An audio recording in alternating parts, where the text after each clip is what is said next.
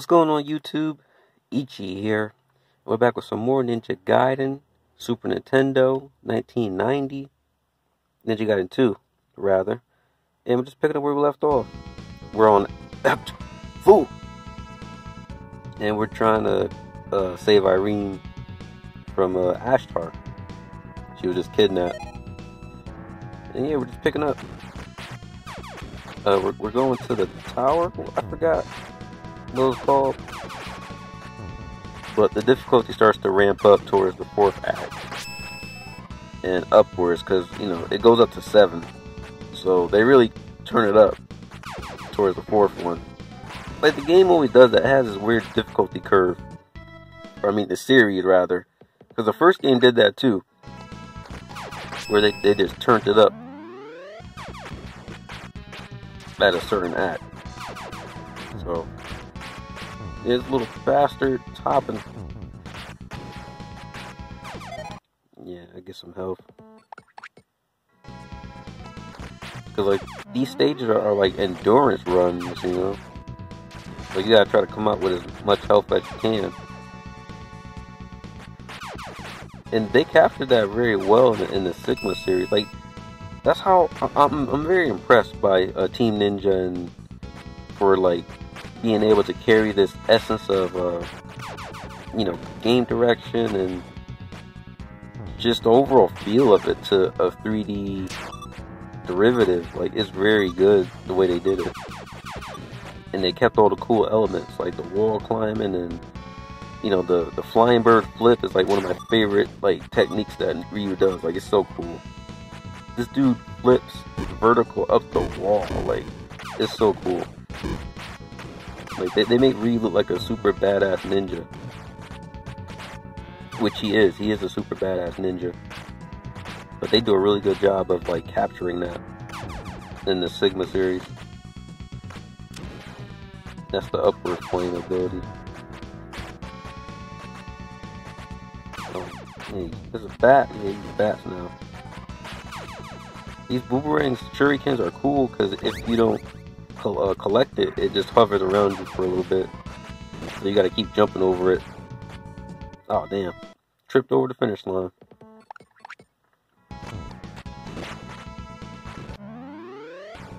Yeah. This game's cool.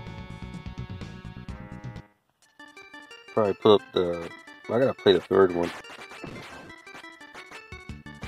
Because, um... There's a bunch of games I gotta catch up on. I gotta finish Mario RPG, the original. I've been slacking on that. Because the new one came out. And I'm like, damn, I got. I'm like, damn, I gotta finish the old one. So there's that. And then there's, um. There's, there's some games that I've, I just, like, stop. And, like, I kind of don't like to leave loose ends and leave things unfinished. Like that's just my personality. So I got go back and you know do that. These little fuckers. And birds and birds and birds. That's what I mean. They start ramping up the difficulty. Cause that that final boss run is ridiculous. They they have you fight three bosses back to back. No break, no help, no nothing. And if you die, you gotta do it all over. That's crazy. And if it was like an exploit to beat them, then it wouldn't be so bad, but well, you guys let me know, because you, you guys probably know about the exploits for bosses. I try to figure them out as I play, but you, you guys probably know better than me. Because I didn't see an exploit for the last boss. Just the same crap you did for the uh, first game. And it's like, like Jaquio's like the worst boss. He just flies around, just shooting projectiles. It's so annoying. Cause I remember that from the first game. Like, it's like really, you just gonna keep flying around and you gotta chase this bastard so annoying. I'm gonna die. Okay. I thought I was gonna die there. these freaking flames. You got like really, we got like hovering homing flames now, and birds, and like oh god. You know, you get hit by a bird, that's death. Especially over a ledge. Like damn.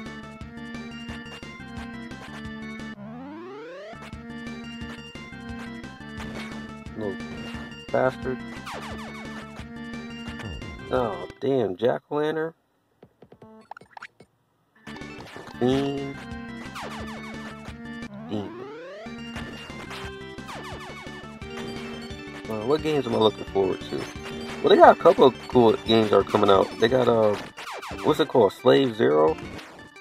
It's like, it's like a mix between like a fighting game and an action adventure game, which I think is cool. Like the main character kind of looks like Hakumen from, uh, BlazBlue, but he's like a Red Devil version. Like he, he's a mix of like Merkava from uh, In Under Night and a mix of Hakumen from uh, BlazBlue. Like he looks pretty cool. And it, like they mix in like fighting inputs and fighting game controls in a 2D plane, but it's like 3D-ish mix. It's like a fighting game inspired action game. It looks pretty cool. That comes out, I think, next year, February. This boss wasn't bad. And then, uh, I'll pick up after. What is he after? What does he want Hear me, ninja. Ashtar. Come out and fight, or the girl gets. Don't do it, Ryu. They'll kill you. You don't got no faith in me, babe? Show yourself. You're too much of a coward. Fiend. Irene, I'll save you. Ryu's design looks cooler. Well, it's more detailed, rather. Act, fight!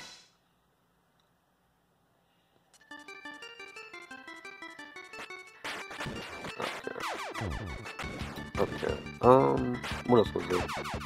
uh, Tomb Raider comes out, the Tomb Raider collection. I think that's cool.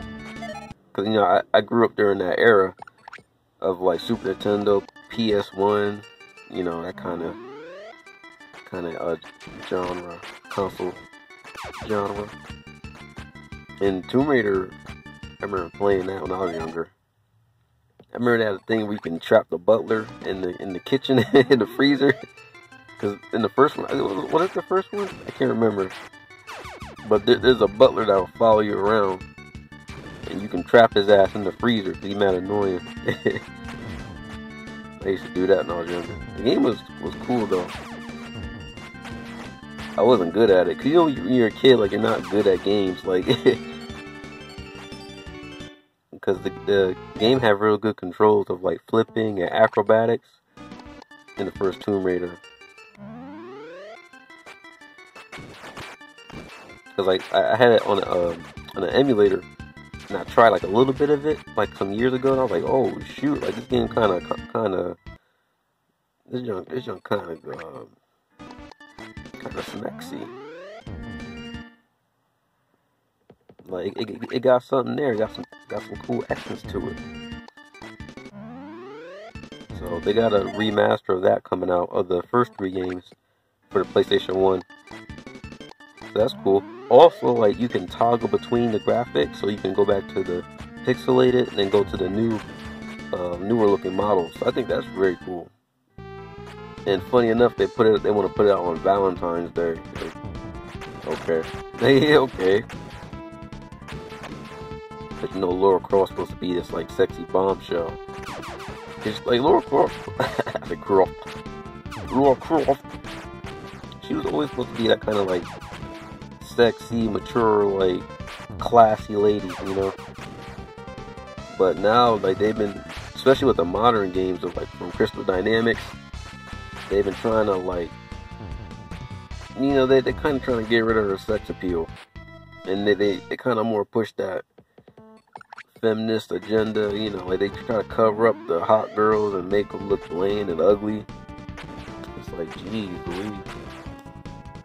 That's what they be trying to do. The hot girl's like mad ugly. So, um,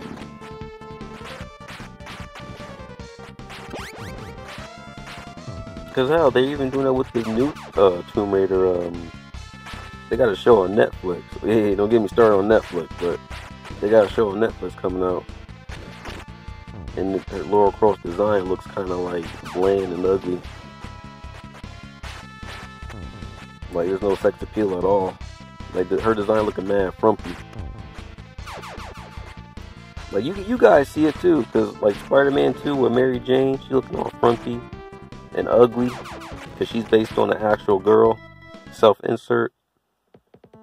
And uh, hell, even Resident Evil 3 remake, cause Resident Evil 3 remake get like a bunch of heat, cause it's kind of like, you know, they, they kind of cut content from the game and and they changed Jill design, and you know they try to get rid of her sex appeal as well.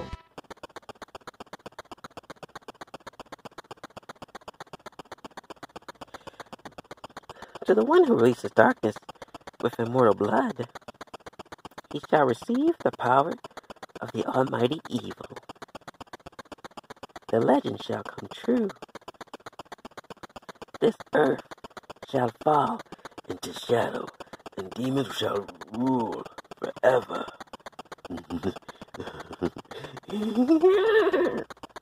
I'll get you, Ashtar.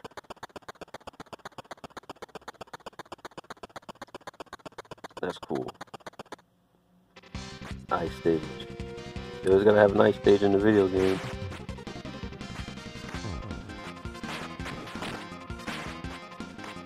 Ice, ice, ice, ice, ice, ice.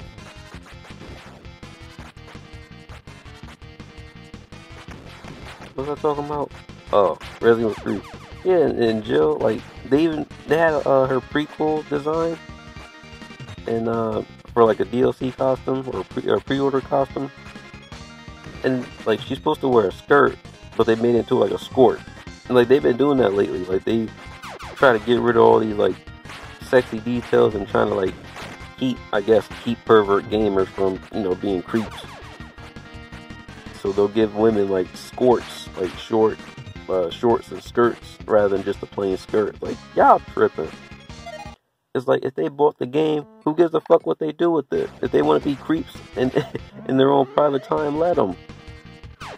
It's like damn, they used to do that back in the day. They didn't care as long as you bought the game. Cause like Samurai Maiden had that problem. That game that came out, it wasn't a popular game, but it was a Japanese game that got. Because when they localize the games from Japan, the Western companies be censoring them because uh, hell, even uh, I think the Yakuza games are suffering from that too, where they're getting censored and like localizers are messing up the translations. Well, like if they bought the game, who gives a fuck? They want to be a creep, let them be a creep. They not hurt nobody. They pay for the game. What's the problem? Cause same thing with Resident Evil 4 remake with Ashley. People, uh, people trying to defend them censoring Ashley. They're like, oh, Y'all just want to be perverts look at her dress. It's like, no, it's not about that. It's, it's just about the fact that they're willing to go that far to censor shit. It's like, because even throughout the remake of Resident Evil 4, like they, they, they censored mass stuff and they kind of pushed this feminist agenda. Hell, Ashley even saves you like three times. Ashley saves you three times. Like, bro. In the first, in like the original you're supposed to be the super badass agent, and she's supposed to be the damsel in distress. Like that's the whole point of the game. But the remake, nope, she gotta save you. I'm like that's that that's that feminist bullshit they always gotta sneak into video games. And then they make an Ada Ada Ada more uh, relevant and prevalent. Hell, you got like Ada comes out and saves you, and she's standing like uh, shoulder to shoulder with you against um, Saddler. It's like you were supposed to save her. It's like, damn, men can't just be men no more, and men just can't help and save women and protect women no more. Like women gotta stand on their own, like which is fine. Like you know, I'm not no mis- I'm not no misogynist. like that's fine. But it's like, bro, like we, we're tired of seeing that in movies and video games. Like we want to see men just be men. Like damn. Like like the market is oversaturated with this feminist woke BS. Show yourself, Ashtar. At last, the foolish little ninja is ready to fight. Yeah. Take the girl. She's no use for me. Real. Irene, And take that. Ah, yeah, he caught you lacking. Real. Irene! Dad, Ryu, he caught you lacking. Real. Dad, what kind of game is this? Dad, girl? Slow down. Irene! Irene, don't die. So they got the blood of the blade. See how the sword of chaos trembles with delight?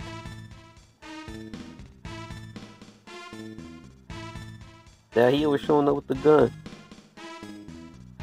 Oh no, they got Irene. Why don't Ryu have a gun? Sword blasting everybody, goddamn. Back off. You bother some swine. I'll deal with you later.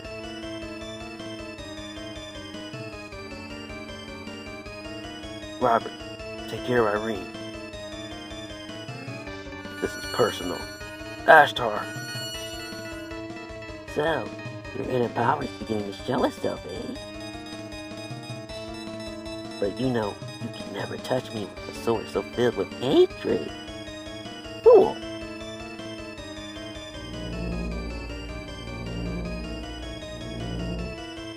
enough of your games. Ashtar, this is between you and. You dared to battle with Ashtar? Foolish ninja. I'll show you just how powerless you really are.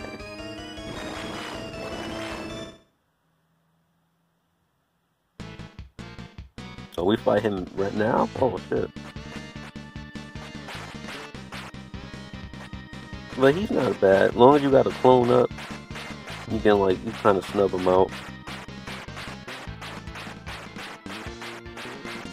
You just gotta be aware. Yeah, you got that clone up, and you're good to go. You're not too bad.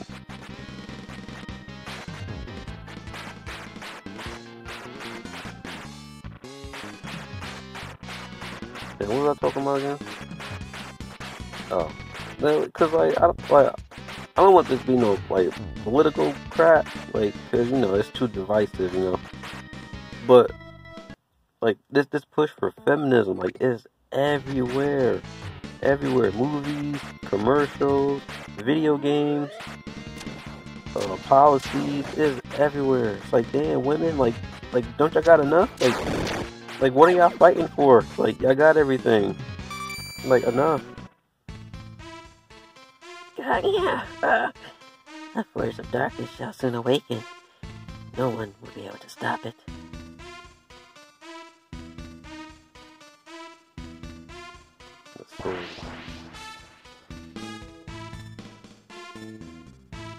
Join forces. Shadows. Oh chaos. Swallow this word of torture to darkness. What the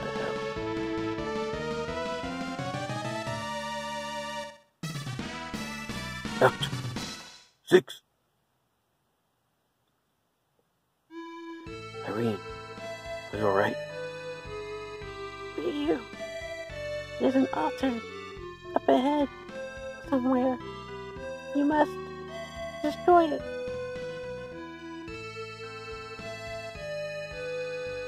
I can't leave you here. I'll be alright. You're the only one who can do it. The only one who can stop them. Go. I'll go, Irene. I'll come back for you as soon as I can. hold on. Cause like back then, simping was okay. Cause the women were worth it. Robert, take care of Irene. Get her out of here. Be, be careful. You too, friend. Hey, they're friends now? Take care of her.